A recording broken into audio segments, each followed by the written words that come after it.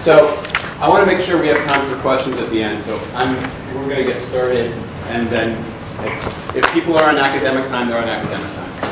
Um, okay, so back in uh, 2012, uh, I was one of the general co-chairs of the Human Robot Interaction Conference. It was a traumatic experience. Um, it was a lot of work, and, and then uh, this past year, Gerhard uh, uh, uh, did this for the HRI 2014 that was hosted at his university in Bielefeld, and it was stunningly smooth, and I was very impressed. um, during, the, during the conference also, though, there was an opportunity to tour the facilities and see that all the different robotics projects that are going on at Bielefeld, and that was even more impressive. Um, and so there was an opportunity to, to have uh, Gerhard come here and give a talk. He does work in HRI, and so, and so I was very excited about that as well. Um, so this is kind of a great opportunity for us to all learn about each other uh, and, and get a greater understanding of what's going on, especially in Europe on the HRI front. Um, Gerhard is extremely uh, low key, so um, you may have noticed on his bio that he is the rector of his university. That's actually a really big deal. Um, Um, but he's completely approachable. Feel free to, to come and talk to him after the, after the session, and he will be at the PSR next door for those of you in the PSR thing. Um, so with that, I'll let you go right into it so we have time for questions.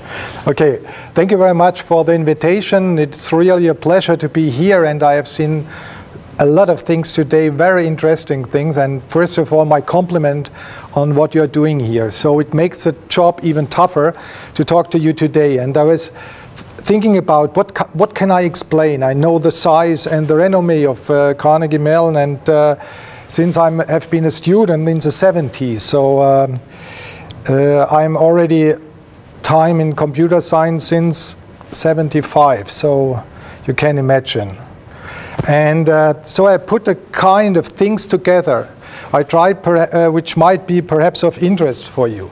First of all, I will start with one example, one experiment, our most real-world experiment we ever had. And then I will explain a special structure. Aaron was talking about the building we have had the conference, you, see, you have seen the labs, and this is strongly connected to a center of excellence. And I will try to describe you this kind of organization, this kind of funding scheme and this kind of cooperation, which evolved over a decade or more than a decade between a number of colleagues and focusing on a certain topic. And really cooperation between, nowadays it's about 32 to 35 groups, and you will see more than 200 people are working together at that point. I will then report on a, on a very influential for us, very influential experiment from 2007. It was the beginning of 2007, our home tour experiment. And then I show you just short classical pattern recognition AI stuff on space, dialogue, actions, and learning. In the content, there's something special which we call social, especially in the learning context. And then new experiments and systems, and I try to give a conclusion at the end. So our project or our experiment South Europe. It was a cooperation with a German space agency and uh, they asked us, okay, so long-term space flights make high demands on physical condition of astronauts. That's the truth. So, but how to motivate astronauts to do it better, to do it more than they do it normally. And you see here sporting activity must be done. And the question was, can a social robot, and you see here the Nao, influence the behavior of the astronauts in space? So the astronaut here is spinning. It's on Earth. I show you the surrounding of the experiment. And the Nao it's motivating. And you see here a little bit, so less tempo, less uh, turns around, and so on. So the uh, the robot is a motivator. And another problem in space is the mental constit uh, constitution of the astronauts. Will humans accept robots because they are less weight? They are do not have to work otherwise in the uh, in space. except social robot as an interaction partner, and can we improve the atmosphere in the group. And this has been the second. So this astronaut is playing with Flobi. I will talk more about Flobi later on, memory. And this has been the exper so just an example how it looks like. So it's a communication and robot follows I've been in the Disney lab today, so the old Disney ideas of cartoon-like emotional displays. Let's talk in, in this way. So it's, it's really an interaction, and Flobi is reacting, expresses emotions, and you will see uh, later on how it looks like. Here you see one example. Flobi can change gender and so on, but, but that's not the question at that time. So, it has been a long-term isolation study, and perhaps you can imagine you do not have often the opportunity to do such an experiment when you do human-robot interaction. We have two times eight probants for 18 days in closed area. And 18 days means we had no chance to repair, to restart, to change software, and so on. So the robots were, have been 18 days in this closed area. All the pseudo robot, uh, astronauts. It has been in Cologne at the uh, uh, area there. Has a demanding daily schedule, like it is at a real space station. And every proband had to cycle at least one hour per day. And every proband had to play at least two turns of the game pairs each day. And they have won the two groups, and uh, so we have a lot of data.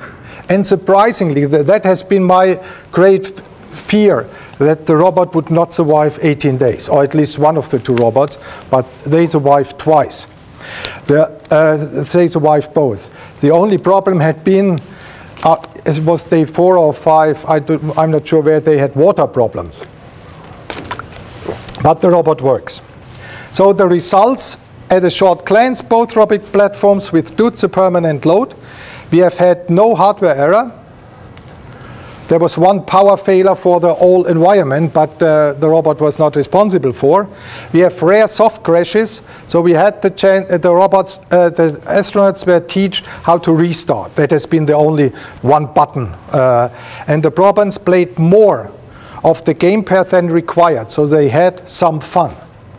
So in this lot of data are now examined by the German uh, aerospace agency, and uh, this is just a shortcut on what the results are. And this interaction, this social interaction, is one of the goals we are following since more than a decade. And this was one of the tests which were essential for us, that the persons, these eight persons, really keep active over 18 days with the, uh, with the robots and were not scared, afraid, or something like that by the robots. And this is done, all these was one of the results of the CITEC, the Cognitive Interaction Technology. The term cluster of excellence is not chosen by us. It's a term used by the German government for this kind of funding. We have at the CITEC defined a threefold mission on a technology side, on a scientific side, and on the side to bridge cultures. Technology to elevate interaction with technical systems into ease and natural of human communication. Or as a sketch, we are trained to, to buy a technical system and we get a handbook, how to use it. And our long-term goal is that in the technical system, a handbook how to use humans is implemented. So just to skip it around. Scientific, of course, that's a task at, our, at a university. And we had a chance at Bielefeld University that we have um, an interdisciplinary and multidisciplinary history. So we have been successful in really getting involved people from life sciences to technology, engineering, and also social sciences into this project. And you will see some of the results which and computer scientists or robotic people perhaps would not think about if you have not psychologists or uh, people from the uh, social sciences around you. So here I do not have to tell you what uh, cognitive interaction technology is useful for every life uh, situation and some of the keys of the key fun of the facts about CITEC. It was funded within the so-called German Excellence Initiative in 2007. We have successfully renewed in 2017. There are 43 clusters of excellence, and there's only one in robotics. That's at Bielefeld. So you could apply for, independent of what you're doing, the idea was research excellence. In Bielefeld, about 250 researchers are involved, and we have an integrated graduate school with about 80 PhD students. And this cluster funding is very nice. So you had to write a proposal. And if you are successful, it's really pain to write a proposal integrating 32 uh, groups, restricted on 75 pages, exactly, not more. In a two-stage, at the first stage, 20 pages, second 75. But if you are successful, you get 7 million a year without a project definition. You had to design it on your own, you had to organize it on your own. So in common, we have 18 million funding, the cluster plus a university plus external projects. And the, the paradigm is for the new period that cognitive interaction systems require some kind of dynamic growth instead of a steady construction fixed from a blueprint. So this has been the basic idea following for the second, and this is a specification for the project, what you see now. That's all we had proposed. So we assume that a deep understanding is necessary and scaffolding mechanism to guide and focus the growth, adaptivity to keep the system responsive to change, and resource sensitivity, a limitation of resources that leads to a better solution or perhaps an optimal solution. Optimal is every, it's each time a very difficult word. So, and we have partners. That was also required that we have non-university partners that support the idea. And we have cooperations with, uh, and they supported us very strongly, Honda Research Europe, with a robot that understand. Bethel, that's a scaffold uh, uh, company looking for uh, people with special needs, elderly people, and so on. And they are our real world. Bertelsmann, interactive agents and cognitive media, perhaps you know, do not know the name Bertelsmann, but you know the name Random House and Penguin. They are owned by Bertelsmann. So it's a family-owned company near, near Bielefeld. And Miele, as far as I know, is known in Northern America, the uh, house, house. And we have a second line. This is more on this in-home, but we also have a, uh, a project line funded uh, for us, which is so-called high, German High-Tech Initiative.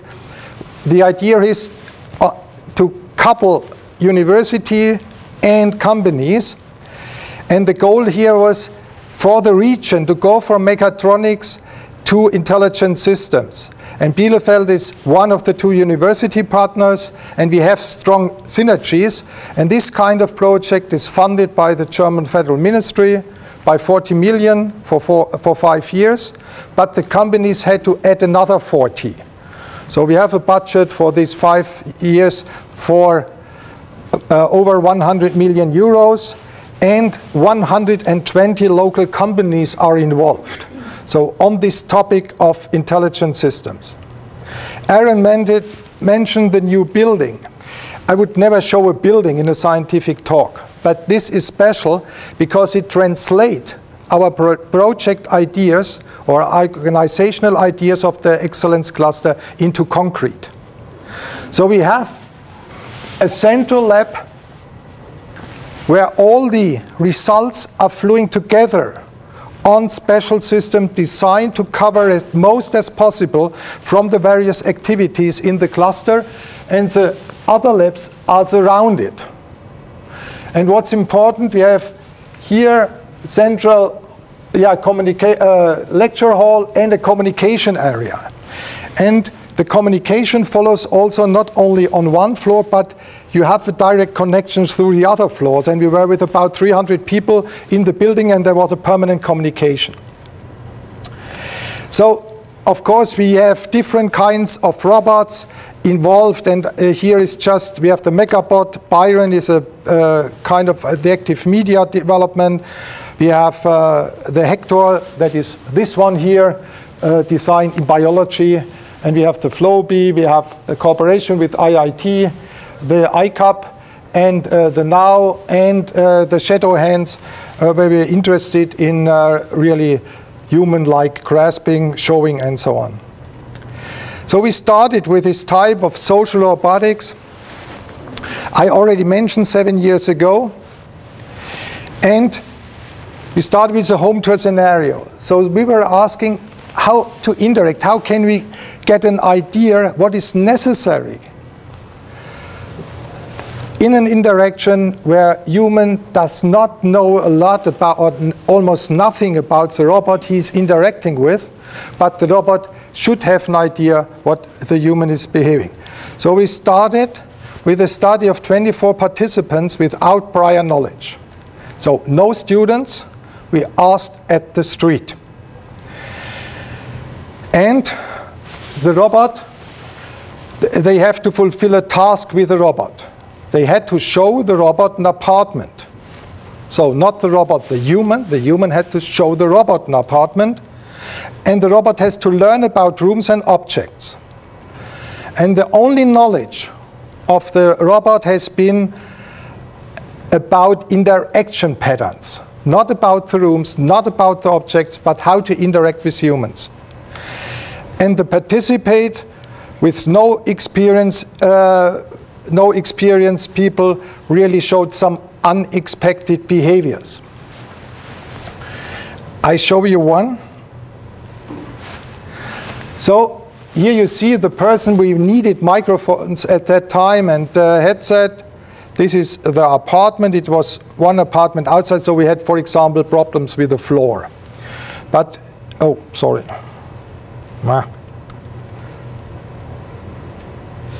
So that's a short indirection, and you see the person is talking to the robot, and the robot tries to get an impression of the room and turns around.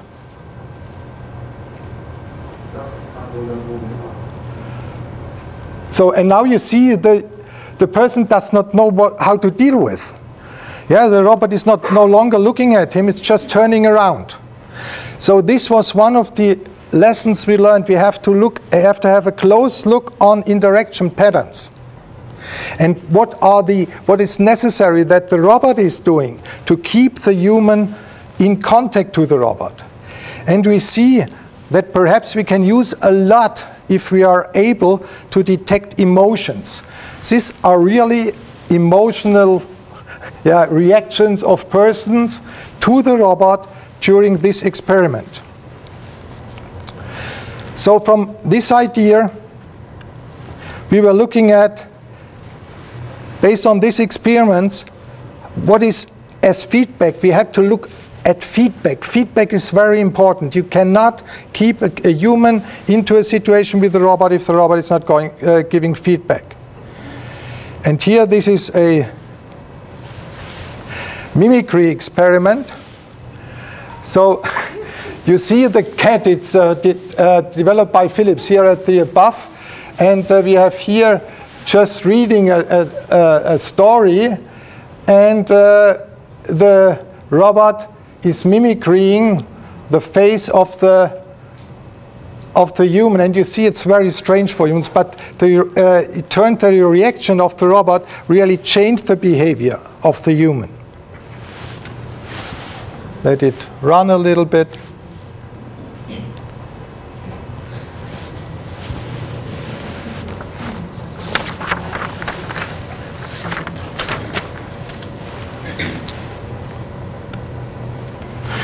So the basic idea has been, okay, we have to look at these data. We have to look at interaction patterns. We have to have a look at what is necessary. And we need the psychologists, we need people from social in, uh, who can look at social interaction, who can analyze studies and give us hints how this interaction could work and what is necessary for the robots. So the, it has been quite simple what requirements we have to fulfill. We have to recognize rooms. There is a need for object detection, of course, recognize, uh, recognizing faces, recognizing actions, and of course you need some memory. And what's important at the same time, beside these analysis, pattern recognition, and so on, is that there is a need to communicate internal states. And this can of the robot. The participation in a dialogue and the emotional reaction of, uh, inter uh, of the interaction partners are very uh, important and to use facial expressions and to analyze facial expressions. So I will go step by step a little bit about space, for example. Uh, we are mapping a line scene model so that we have a hierarchy of these objects around us. This just on, on uh, uh, lasers, laser images we classify. So we have a linkage between abstract model. Oh, sorry. Oh. with the perception of a complex scenario, and the model is aligned uh, to uh, the describer's representation. So this is the rough space the robot has to move in. So the certain objects are now needed for classification. If you have an example like the uh, home tour uh, in, uh, uh, if you remember this, there is the objects are only of interest if they have some communicative ne necessity. So the rest is just avoidance and uh, marks for, uh, for movements. The dialogue model, it's not a special one. It's a, it's a task state protocol with some interaction patterns. But I used this slide to show you that we use the same dialog module and the same, we do it also with uh, the vision systems for the different robots. So this has been a real tough task that you have to work together in 32 groups and you accept that you have one dialog model for each of the robots homed at the various groups. But now it pays back. It, it took a time, but it pays back. One dialogue example in a learning situation with a two-hand that's done by Helge Ritter. So here the task is to show and to denote and to, uh, to tell the robots what are the objects and what is the name of the object. So we have pointing gestures, but you have also grasping in this task. This is the shadow hand, the old one, where uh, it's a very complex control need because it's air here. And the communication partner is one of our old stuff, an experiment of, the, uh, of uh, 2009, 2010. Uh, but we will we change this to, to Flobi uh, in the meanwhile. And you see that the grasping works here quite well and it should be put into the bowl. More or less it works stable. And the new shadow hand is a little bit lighter and is again uh, electrical and not, uh, and not air controlled. So I started with the, that I will also talk about social aspects of learning. So we have in computer science or in uh, machine learning, there is the basic approach is on data. More data and more data and more data. But learning could also be supported by social interactions. And we have learned that, for example, if we look at the interaction between parents and their kids, there are special social signals where you have to take care, where you have to take care, which you show you clearly that's important, because children had the need to learn action segmentation, object recognition, and speech understanding at the same time. And they do not know one or the other before. And based on this, in psychology, there has been an idea developed called acoustic packaging. And that's a kind of uh, first of all, of action segmentation. So the hypothesis is children are able to discover meaningful uh, units in action. Language helps to segment the sequence. And the prerequisite, the idea behind is that you have a synchronicity of language and action. And this is called acoustic packaging. And this acoustic packaging is, if you can translate it into algorithms, it can provide you as pure bottom-up segmentation. So give me two minutes to explain how it works. So first of all, it's a fusion of cues, a temporal association of a multimodal input stream. So, but it's not exact at the same time, it's just ranging.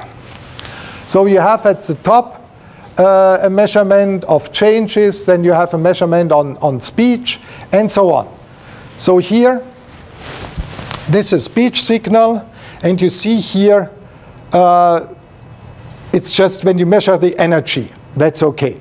And if you have a model on uh, some uh, language pieces, you can learn the word which is spoken in a certain segment. This is a simple approach to movements just measuring the uh, difference between images. And here you see the amount of motion. And then you put these together and you get a kind of parallel parallelity between these and this is developing and this you see also the experiment so this woman is showing her son how to deal with these boxes and if you look here the, this point is, look here. That's, you should attract the communication partner, and therefore the complex uh, sequence. Uh, we did the same experiment, the woman explaining the same to her husband, and you see nothing. Yeah, because look here, bop, bop, bop, bop, finished.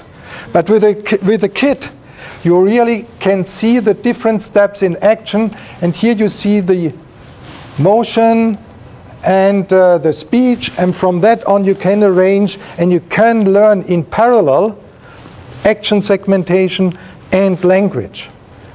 It's not perfect that you get the language, the real words and so uh, real word, words and so on, but it's similar to the way uh, kids learn. So the idea of acoustic packaging and the way we implemented it, we get cues for temporal segmentation of action by speech activity and motion segmentation, and cues focus on details of the uh, interaction by finding emphasized syllables and by recogn uh, recognizing the trajectory of movements.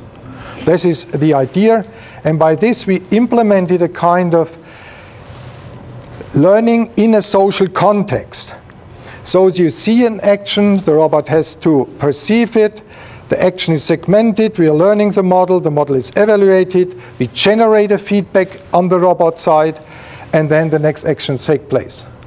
So this is implemented, and as long as a robot can attract like a child, you get similar reactions. And this you can use for a social context of learning. And to look like a child we developed, that's the own robot I developed on my own in my life. So because I had not the appropriate display and I hired a industrial designer and he called the old ideas of Walt Disney, like sketches. And so you see the classical a schematic drawing of a child, the schematic drawing of the robot. The curved forehead, the big round eyes, the small short nose, the small chin, those the facial elements are located relatively low. And this is a, a child impression. And people love the robot. And here, and we wanted to make experiments with the robot. And they are bad ones. So you can change the gender within two minutes. The hair, that's a difference in hair. Sufficient. We measured in functional MRI that it is sufficient to change hair. It's supported by more thin or more thick eyebrows, by more thick or thin lips, uh, dark red lips or lighter red lips. So that's just to support, but it works only with the hair. So you can do interesting experiments, which are very interesting also for, from the other side, for psychologists and for social sciences, by changing. So it identical software, you cannot produce it in humans, identical software, different look like, male, female. And we ask people to interact with Flobi, to talk to Flobi and ask afterward, what would you use Flobi for? If Flobi looks man-like, car. If it looks woman-like, care, caregiving for kids and elderly people. We ask for competences if Flobi is white or if Flobi is dark. Same software. Flobi white, high competences. Flobi Mediterranean style, lower competences in Germany. Of course, that would never happen in any other country. but it was really the experiments. I, I, had seen the results. I couldn't believe it. I couldn't believe it. So I let you now alone with about a five minute video, just commenting a little bit. So the idea that's Flobi, the design, so but all is in the head. So we want we will use robot uh, Flobi on various bodies of robots. So the task from the very beginning for the designer has been in one. The motors must be in the head. This is a mod. So these are the lips we have at the moment, the hairs and so on. So colored, not colored, thick, thin, and so on. And this is a way you can change it in 2 minutes 20. Sorry, I told you in 2 minutes. Uh, that's a little bit faster. That's an older video. You see how you change it. It's really easy. And after 2 minutes it's gone. And this was done in cooperation with companies outside. So they were really happy about it. It was for them uh, a new kind of project. And we have the cameras in the eyes, and uh, we have uh, ears, and of course, speaking is not, not the problem. So after 2 minutes and 20, it's gone. So object tracking. Spot, so we have, you see here what Flobi is seeing. That is a reaction of Flobi here with blue hairs, so that the eyes can really follow. And this has been part of the story of cooperation each person in Bielefeld doing vision research want each student want to have the algorithm on Flobi. So this kind of integration really helps in motivating people to work in larger groups.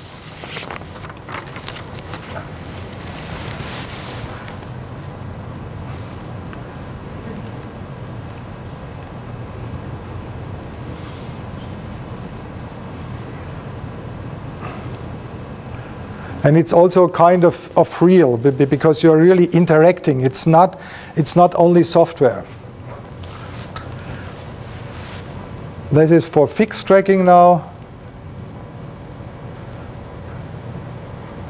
So to keep the person is moving and robot has to, uh, the robot has to keep it stable. And you can use it for mimicry. So these are two of the persons. That, that's our central lab. That's a lab for the CITEC, where the integrated projects are put together. They are providing the uh, middleware software and so on. So this is the virtual Flobi. Just it's easier, even it's not so expensive. You can produce it nowadays for 20,000 uh, euros, but uh, that's really mimicry.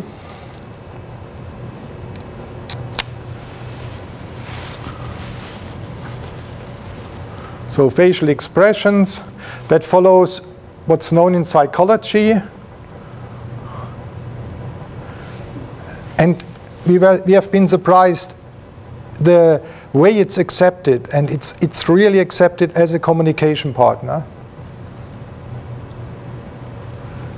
So this is the rating of expertise. You see just uh, pairs of, for the study,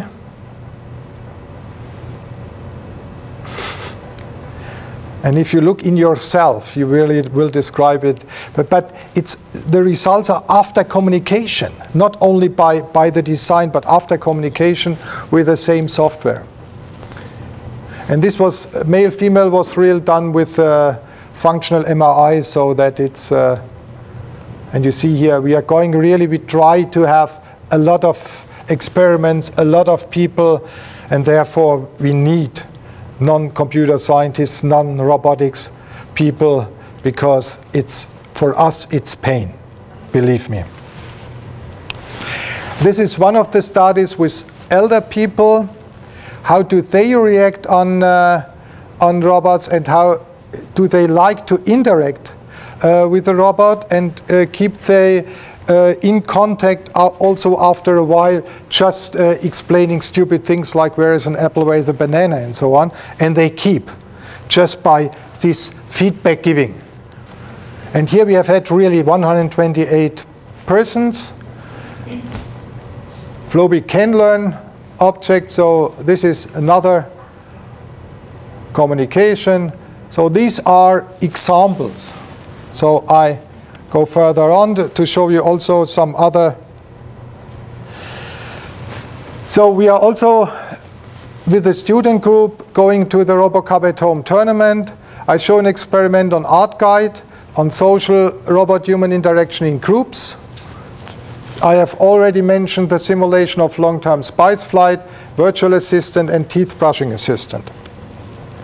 This is a RoboCup tournament in Singapore. Uh, this is the robot I have shown you at the beginning, just a new version.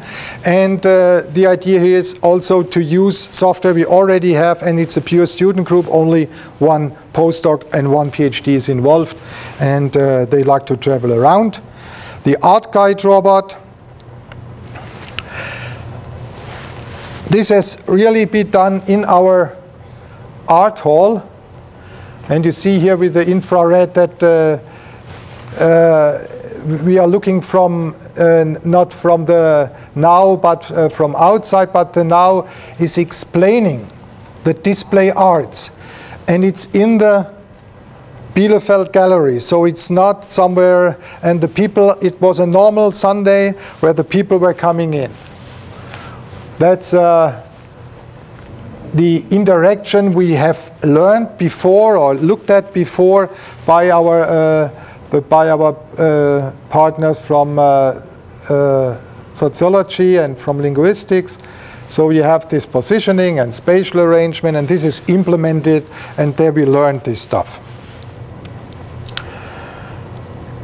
Here you see a group interaction. This has been a European project in the seventh framework, uh, together with uh, various colleagues from all over Europe. We have here a vernissage scenario uh, a multimodal perception with interaction with Nao, and here you see how it's calculated. So you're looking at faces, you, tr you uh, try to stabilize it, you, you can see which is the uh, the picture of interest at the moment, and you measure various and the group size, and so you get into communication with a number of people. Now we'll go to assistant technology. I mentioned that we have one of the largest uh, yeah, company or uh, foundation for help for people with special needs, elderly people, and so on in Bielefeld. And the goal of a number of projects we are cooperating now is to develop assistance technology which support the autonomy of people in need of care. The word autonomy is very important at this stage. And to help people with different disabilities, we are looking at dementia, intellectual ability, autistic dysfunction, obsessiveness, and so on. So we have the partners, we have the patients, and the software because we all use the same basic software. We can develop systems nowadays quite fast. One example, a virtual assistant And uh, here, uh, Avatar is uh, talking to the human and to organize the week. And that's very important for elderly people, we have learned. That's a schedule over the week. is for them very, very important and that they know each day what to do. And this is one of the examples with speech recognition. And uh, here you see the avatar and the schedule. It's really interaction and it's also accepted. So it has been adopted. So of course we have to learn to deal, uh, how to deal with such persons.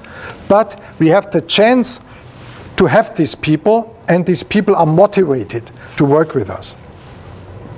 Now another project which is more to robotics, that's a teeth brushing assistance system. So people with dementia are not able to brush their teeth. Teeth brushing consists normally in our culture of about 10 steps, which are not clearly sequential, but it's a kind of a, of a graph you have to. And they lose the context.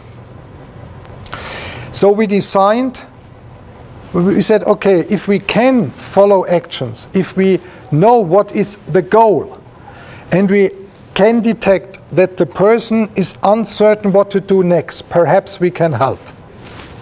So we have the toothbrush had sensors, a recognition of single steps of toothbrushing is needed, and the assistance for feedback is very crucial in this context. So because there is no predefined sequence of tasks, we have to look at audiovisual system prompts if necessary for the user. And so it, so it looks like. These are some of the steps to take water, to wash the mouth out, to take the toothpaste, and so on. And these are symbols. So as long as possible, when you see the uh, person, to detect the person is uncertain, then you give a symbol. If it is no help, you explain. You assist the symbol by speech. If you, if you realize it's no help, you call the uh, human caregiver. That's, that's a rule. And we have done a study with seven probands. And you know there are strict rules in Germany to, for such experiments. And uh, so it was in their daily life. They had a uh, and it's not a design uh, area here, so it's really lab, a lab system. And uh, it was working, the experiment was in September, October, the first prototype uh, in real world. But how to measure the result? You can ask people, but we have about 10 sub-actions. And you can measure how often does people call the human caregiver after a number of steps. And you can measure how often is a system calling for the uh, human caregiver or the person. The person is still allowed to call. Please come. And you see here the results. One to three steps in average, the persons are calling. And after some days, with the system after seven to eight in average. And the result has been, except this, the caregiver as well as the patients has been very happy with the system because that is increasing autonomy. A technical system is not the person that helps you if it is assistive. And the technical system is for your part of the autonomy. We also like our, our, cars because we are not able to run in a speed of 100 kilometers an hour. And this is the same behavior here. So this gives you an impression of what we are doing, of what we are perhaps in this CITEC. And I recall just the threefold mission I mentioned at the beginning. Technology for the human, may, I have not addressed today uh, production systems, production lines, and so on. We have very interesting projects in interaction between workers and robots in the same environment. But I concentrated on, on other uh, examples. Scientific, okay, you have to publish. We have renewed, we, we got the second five years, and we have been successful in bridging the cultures. So we use results from psychology, from biology, from uh, the social sciences, use them for our robots. And what occurs now is that we produce new questions for psychology, for uh, sociology, and so on. And of course, that's not me. I'm president of the university since five years, so I was just stealing experiments and work from other guys. I have been involved in this topic for in Bielefeld for 20 years, but not in the last five. They are doing the job, and my job has been really to present their work. Thank you very much for your attention. So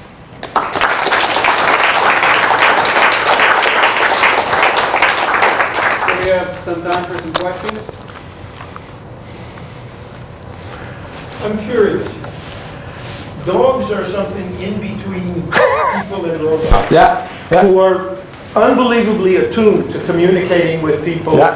Not so much with words, but by the tone of words and with gestures. Have you ever tried this with dogs? Do you think about trying it with dogs?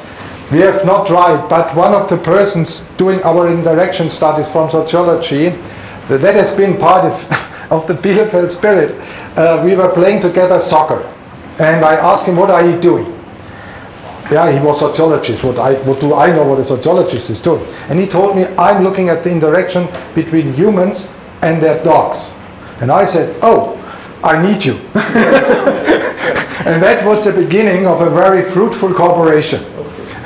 So we know, and there are some robots where you really, not in Bielefeld, I, I know from the, from the community that you really simulate or try to make this, but it's not easier.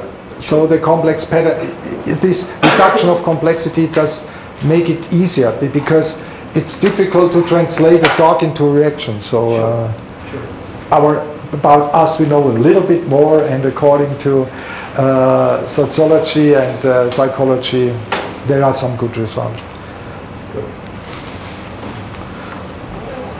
yeah So we, we often hear about uh, robot culture in Japan Yeah. non-Western way they relate to robots. yeah Do you think there's a German way of interacting with robots specific to your? yeah so we are working strongly together with uh, Osaka, for example, and, and I think one of, one of the huge differences is in, in Japan, you can build robots which are really human-like.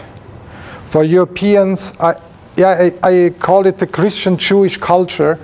Uh, the, the sketch idea, like in Walt Disney, is much better. So the people are not such scared about. I think problems like cognition, understanding, learning in such a sense of the social kind of robotics, that's more in Europe. Yeah, in Japan, you have, for example, a lot of robots doing certain stuff, mus playing music, walking fast, uh, being pets, yeah, with a short action-reaction cycle, and so on. But cognition is very interesting in uh, in Europe, and perhaps that's a European style. Compared to US, we have not one, or, or we are not in a sense that the Department of Defense is sponsoring roboti- ro- robotics in Europe. So that's a difference to US.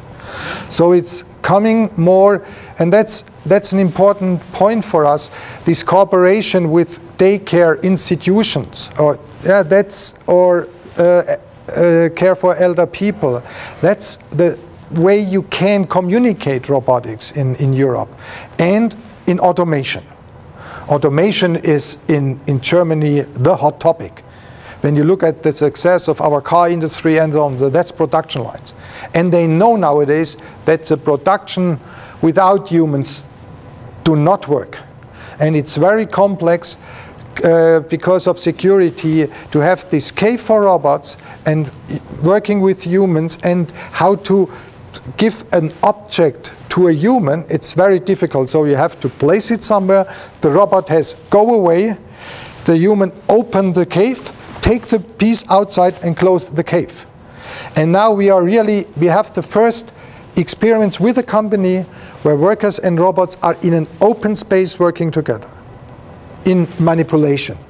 So driving around, that's okay in, in, uh, in, in the production plants, but not really interaction. So perhaps that's a special. And, and you know from the economy that German economy and Japan economy are really relying on industrial production. Perhaps yeah, United Kingdom not as much and uh, US.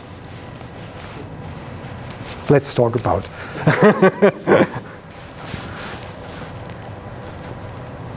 yeah. Um, Do people have reactions or or, um, trouble accepting robots for fears of security and privacy invasion? Sorry of Uh, Are people concerned about robots being a security and privacy threat? In the studies that you've done? Yeah. These studies, um, so I believe there might, there's a stepwise going into a household. So for example, this with dementia is an important step. Um, assistive technology really helps. So if you look at a modern kitchen produced by Miele, it's really a lot of robots there, but they are not moving around. That's the only, uh, the only point. Or if you explain people, they are driving cars, and German, in Germany people like high-tech, high, high-tech cars. And if you explain them, what are they doing and what is the car doing? Yeah, they just can give hints and the car take the decision. Then it's also a kind of robots. And uh, step by step, it's accepted by small pieces, not by the humanoid running around. That will not be the case. Uh, it can be the case, but not at the beginning, because you had to yeah, adopt people also to this kind of technology, because this technology is doing an own task. Yeah, it's not pressing buttons, they are running around.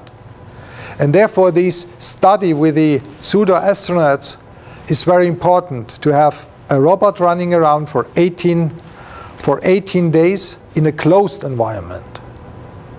Okay, these are young people, they get money for.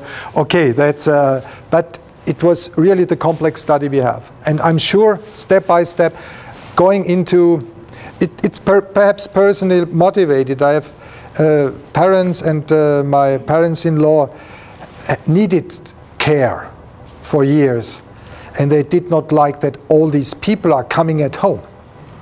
Machinery is at some points easier to accept. So we talk about to lengthen autonomy in time. That's our goal. More questions? Okay, thanks again.